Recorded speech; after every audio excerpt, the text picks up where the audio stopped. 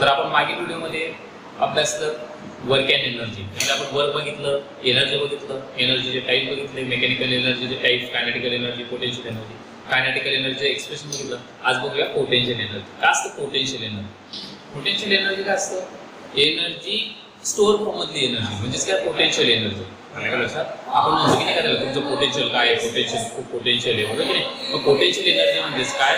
Store फॉर्ममधली energy त्याला स्थितीज ऊर्जा म्हटलं जातं मराठीमध्ये. काय म्हटलं जातं स्थितीज ऊर्जा कायनेटिकल एनर्जी म्हणजे गतीज ऊर्जा आणि पोटेन्शियल एनर्जी म्हणजे स्थितीज ऊर्जा स्थितीमुळे ऑप्टेन होणारी एनर्जी म्हणजे सोप्या लँग्वेज कसं करणार? Definition energy store due to its motion म्हणजे energy store due to state of position energy store होते कशामुळे? पोझिशन किंवा स्टेटमुळे energy store due to its position or state त्याला म्हटलं जातं स्थितीज ऊर्जा त्याला म्हटलं जातं पोटेन्शियल एनर्जी येते लक्षात?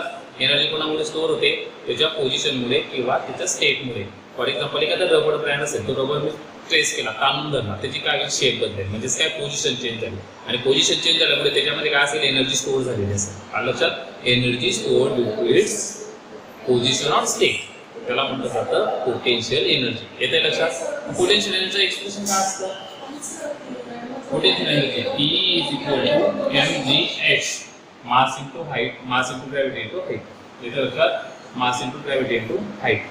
कळालं त्याला म्हणतात जातं potential energy energy store due to its position of state त्याच्या स्थितीमुळे जी एनर्जी स्टोअर केली जाते त्याला म्हणतात आता पोटेन्शियल एनर्जी नंतर पुढे येतं आपलं transformation of energy transformation of energy energy transform होते.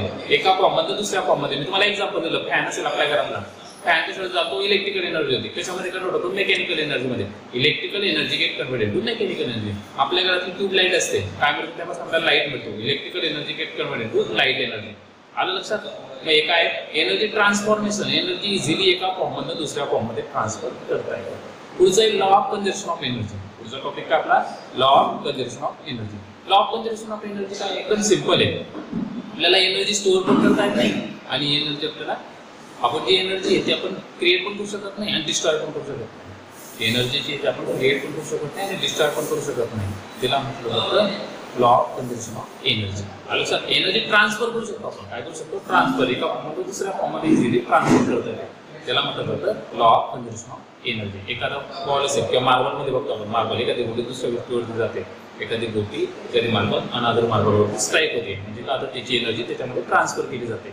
बरोबर जसं मी तुम्हाला क्रिकेट बॉलचं एक्झाम्पल दिलं. एनर्जी कोणामध्ये होती? बॉलमध्ये बॉल कोणावरती स्ट्राईक झाला? स्टम्पवरती एनर्जी बॉलमध्ये एनर्जी कोणामध्ये गेली? स्टंप पुढे. आणि स्टंप त्याच्यामध्ये डिस्प्लेसमेंट झालं स्टंपचं आलं लक्षात? म्हणजे एनर्जी ट्रान्सफर होते. एनर्जी काय करतात ते? ट्रान्सफर करतात ते. ஓகே பட் இஸ் நெக்ஸ்ட் லெக்சரில் பார்ப்போம்